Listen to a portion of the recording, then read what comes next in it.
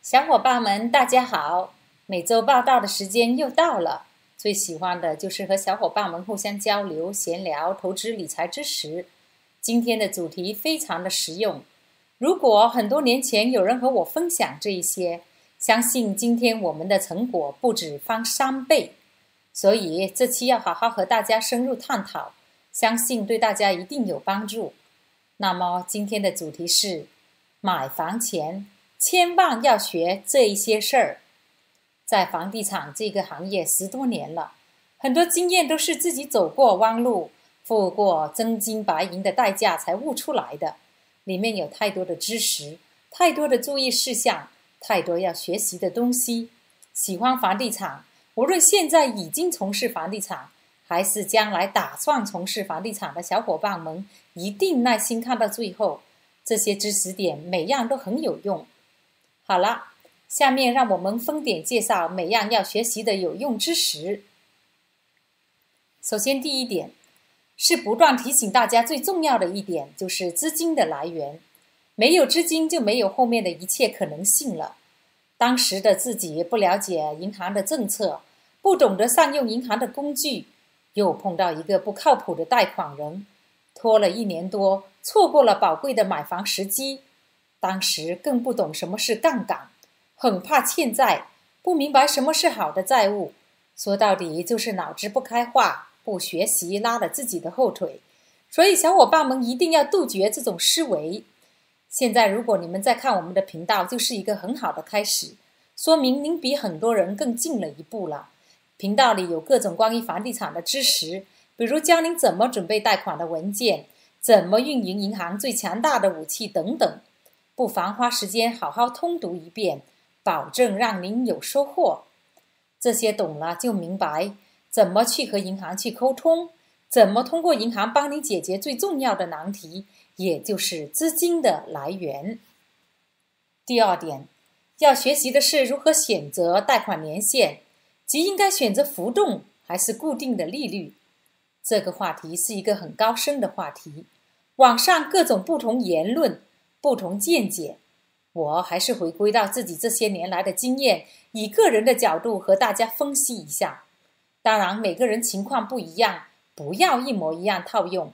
这里的分享只是基于我自己本人的情况。要做多套房投资，以我们的经验，最好是选择浮动利率和选尽可能长的还款期限，也就是三十年。前面我们。选错贷款年限，后果很严重。那一期视频有详细的和大家分享了原因。大家看完这期视频后，强烈建议收来看看，这样可以更清楚为什么。我们这里简单的再复述一下为什么这样选择的原因。首先，这些年来我们真实体验的浮动利率省钱，固定利率省心这一个道理，确实如此。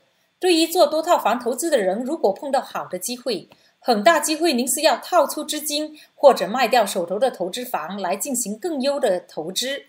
如果选择的是浮动利率，罚息少，操作灵活。再者，浮动利率很多银行是允许您转成固定利率的，也就是如果看到当时的情况确实很不妙，自己承受不了浮动利率一直变化的情况下，也是随时可以把它转成固定利率的。这样不用提前就把自己吊在较高的固定利率上。那为什么建议大家选较长的贷款年限呢？做多套房投资的小伙伴们都知道现金流的重要性。这里时间有限，不赘叙。如果呃不知道如何计算现金流，想得到这些信息的小伙伴们，给我们发邮件索取。我们的邮箱地址是 m i n g m i n g a n d。Alex at gmail dot com。如果选择了较长的贷款年限，每个月的贷款支出会少很多，也就是现金流相对会好很多。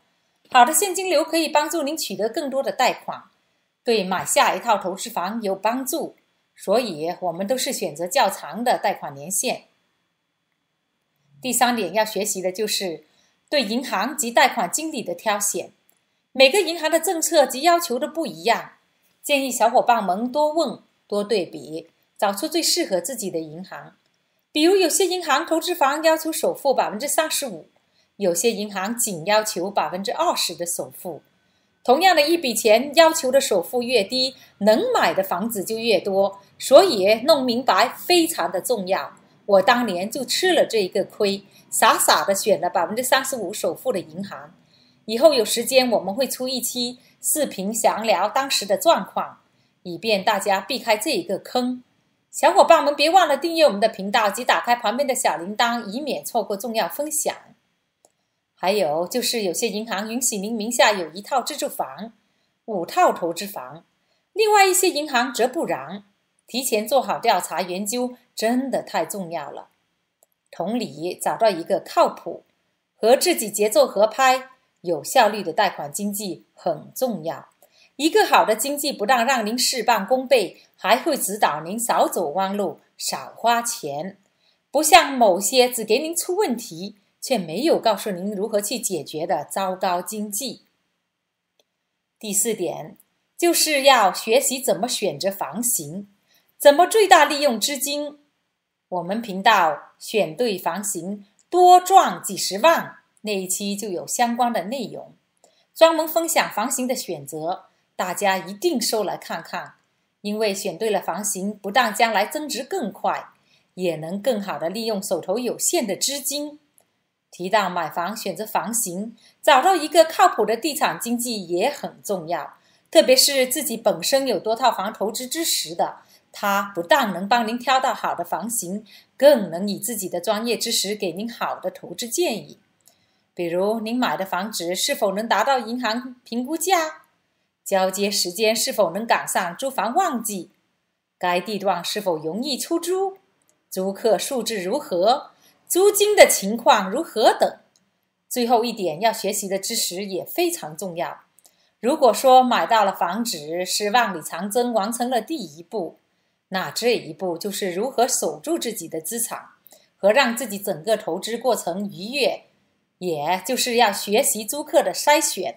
管理租客等相关知识，一个好的租客让您锦上添花，一个坏的租客能让您头疼不断，甚至失回整一个投资。我们频道里分享的教您五招预防坏租客，五个方式不愁找不到租客，这些内容都是教大家管理租客的。上面能想到的买房前要学习的重要知识都和大家分享了，不要光是看。建议想买房或者有买房打算的小伙伴们实操起来，一个实操胜过千个理论。只有经过自己的实操，才能发现和学习更多的东西。好了，这期就和大家分享到这里了。有更多好主意的小伙伴们，欢迎在下面评论栏留言，互相探讨，总是能让更多的人受益。看到这里，小伙伴们也别忘了动动可爱的小手，给我们点个赞。感激不尽，那这期就到这里喽，下周五我们不见不散喽，拜。